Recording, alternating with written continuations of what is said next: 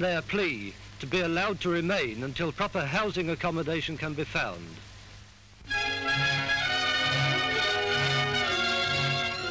Nice work. The cellophane girls are here again. A bunch of beauties from Florida come to Los Angeles to compete against a team of Californian lovelies.